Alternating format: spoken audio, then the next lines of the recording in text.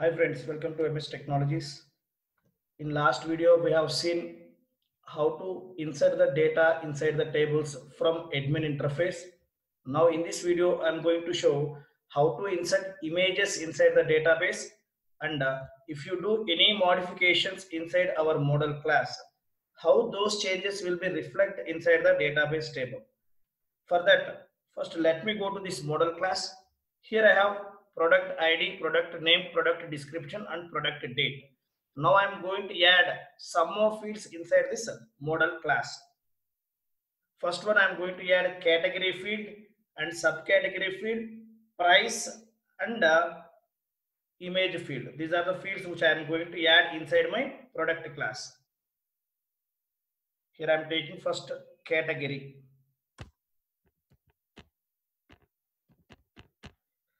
Equal to models dot char field. Here compulsory we have to specify max length equal to 30 I am taking. So this is the not null field. Not null field means here we have to take like uh, default equal to empty. Next field subcategory equal to models dot char field. Take max length equal to 30 comma this is also not null field only. So specify default value. Default equal to empty i'm taking. Next in online shopping cart if you go for any product compulsory price, price must be required. So here i'm taking price field also price equal to models dot float field i'm taking. Float field this is also not null field only so specify default value. For price default value i'm taking zero initially. Next here i'm going to add one more field which is image field. Product image equal to models dot image field inside this we have to take one uh, inbuilt attribute predefined attribute which is nothing but upload. Upload to. Here we have to specify the directory name where we have to upload. Here i'm taking shopping cart slash product images underscore images this is my default field. So now these are the changes i did inside my model class. Now these changes should be reflected in our database table also. For that what we have to do. Here one more point i want to tell. Here whenever we are using image compulsory we have to install one module at here. We have to install one package. What is that? Python pip install pillow. This this lab this package we should install right? If you want to work with images at here. So now if you run this one one minute. hyphen i will take. Python hyphen m pip install pillow see requirement already satisfied. Means in my system already i installed a pillow. That's why here we are getting requirement already satisfied. So next i'm going to run make migrations command. Python manage.py make migrations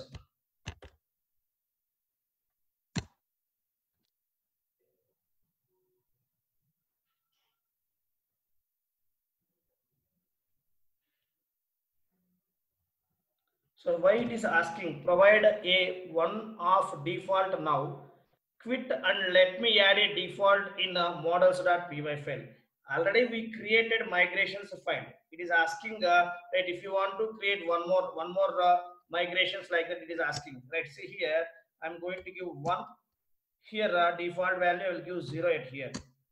See now the migrations are see added. Add field category add field price add field product image add field subcategory.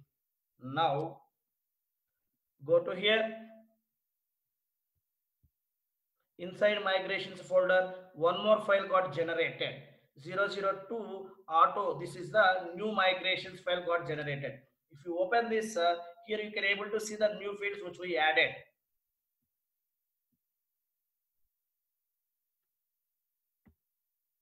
We added category field price field product image field and subcategory field. These are the fields which we added it here. So now these changes should be reflected inside our database table also. Then what we have to do? Here we have to run migrate command. Python manage.py migrate.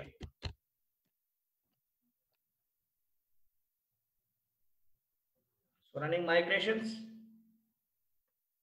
applying uh, cart app. So now all these uh, changes are applied inside our database. Right? So now i'm going to run the server. Python manage.py run server.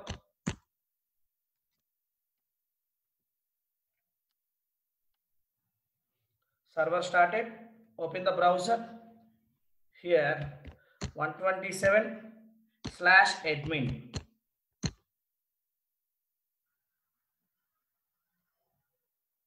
so now here i want to log in into admin interface. Yesterday we created super user. By using that super user credentials we can log in into this admin interface. Raju password raju at the rate 123 login see here you can able to see this products if you click on this. See one more thing i want to tell it here here product object 1 product object 2 these names are not that much readable. These names are not that much readable. I want to show proper uh, names for i want to show proper names of the product. So for that what i am going to do is go to our uh, models.py here i'm going to override one function at here. Def underscore underscore uh, str underscore underscore self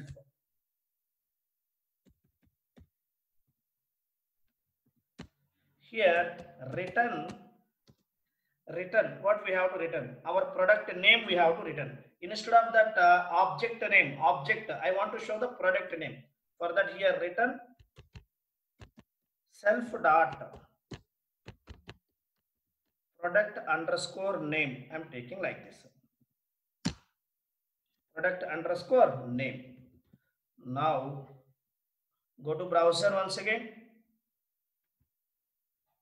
here it will display product names wristwatch and t-shirt. These are the two products i added inside my database. One is wristwatch and the second one is the t-shirt. Now if you click on this you can able to see. See wristwatch i added and uh, these are the product description etc etc all these things i added it here. So now go back. Here now i want to add some more items. Click on add product here product name I want to add. Product name uh, I will give uh, cell phone, mobile, mobile. Category, category I want to give electronics.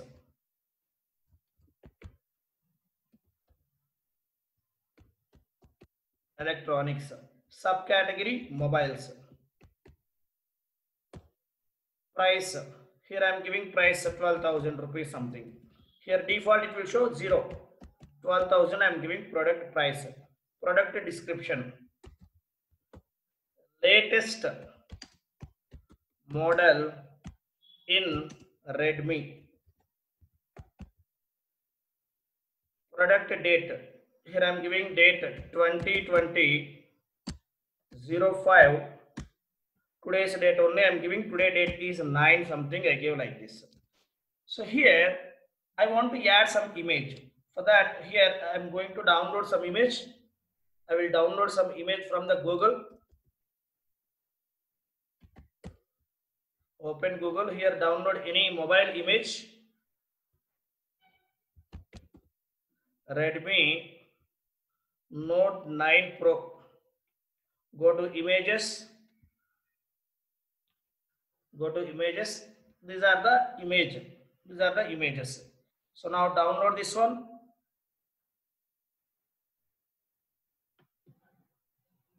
Save image.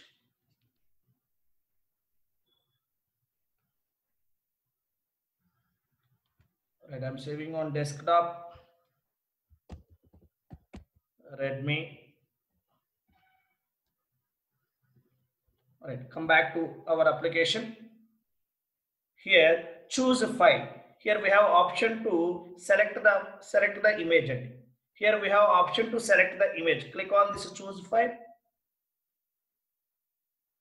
You will get like this. Here go to desktop. Here select this redmi. Open.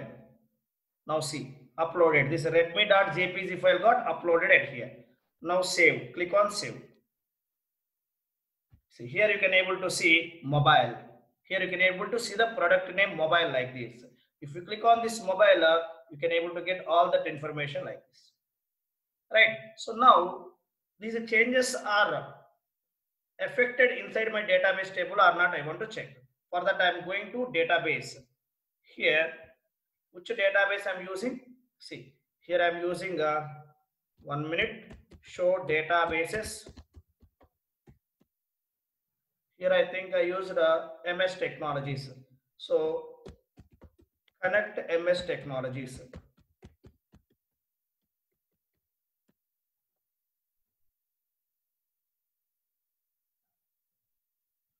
Now here description of table name. What is table name? Product is the table name inside database how what is the table name it will get create? With, with which name? Table name. Table name is always uh, application name underscore model class name. So here my application name is uh, cartapp my application name cartapp cartapp underscore and our model name is product. Product so you will get all these things like this product id product name description date category price product image and subcategory all the things all the things are affected inside the database also now select star from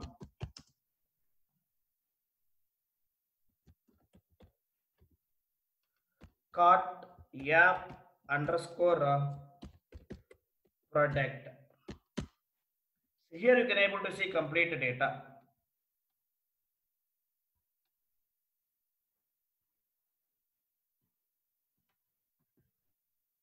See here you can able to see the complete data here.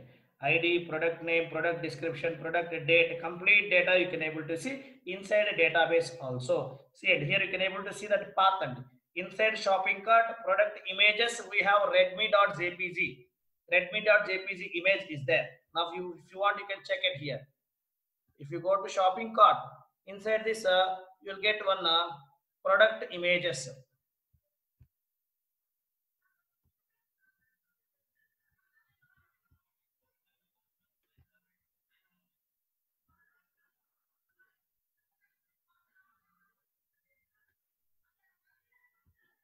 see this is the product images like this you got it here now, if you expand this here, redmi.jpg is there.